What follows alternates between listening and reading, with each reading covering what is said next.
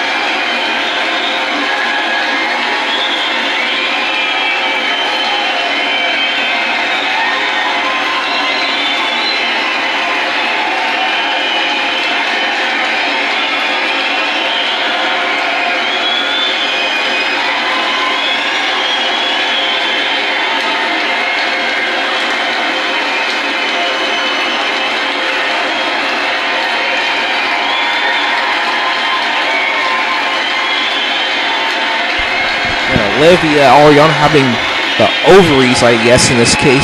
Going up to Ursa Areano's face, her older sister, challenging for the women's championship. But Ursa made a huge point. I mean, she hasn't really done much as of late, and of course, one way to get opportunity was to, of course, uh, earn it in a number contenders match next week. I guess we're going to have a number contenders match involving a few double X's. Whoever wins will face Ursa Ariana for the women's championship at Square of Despair. And speaking of Square of Despair, it's a few weeks already. Live Sunday, January 16th on Click Per View. My goodness, supposed to be coming live from the Quicken Loans Arena in Cleveland, Ohio. It's Square of Despair with 15 men, 15 women in two matches. They'll return two winners. And of course, the winners will move on to headline the biggest CPP of all time. Pandemonium 11. One man will win, one woman will win, and they'll make history. First, we're going to go backstage with the enforcer Nick Wilson, owner of the UWA. And I guess we a little discussion involving Fool Killer.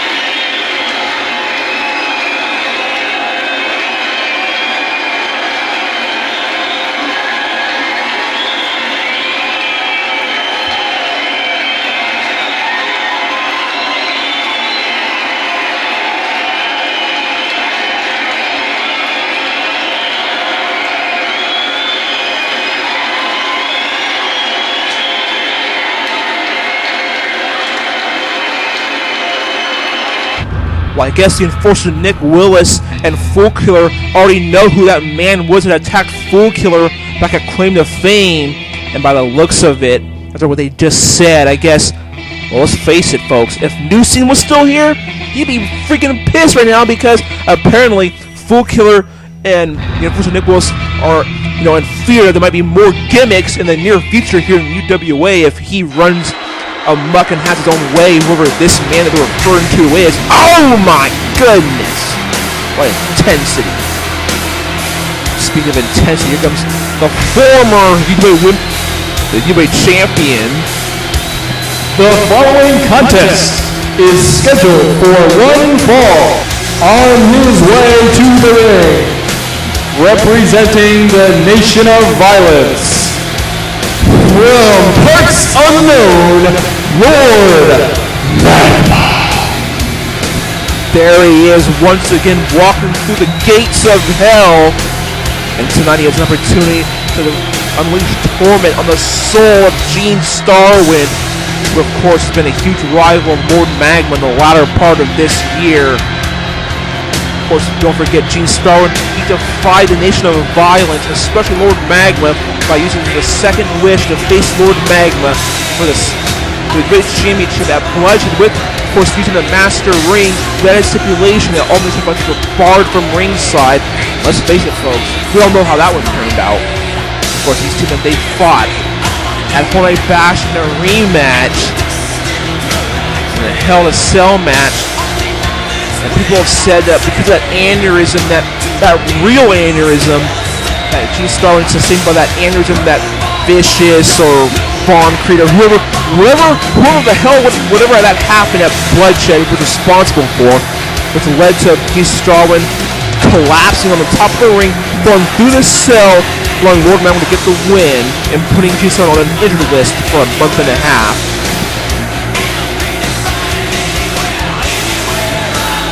And now, Gene Starwind has a huge opportunity tonight because he has a chance to do what he believes that he should have been able to do twice already.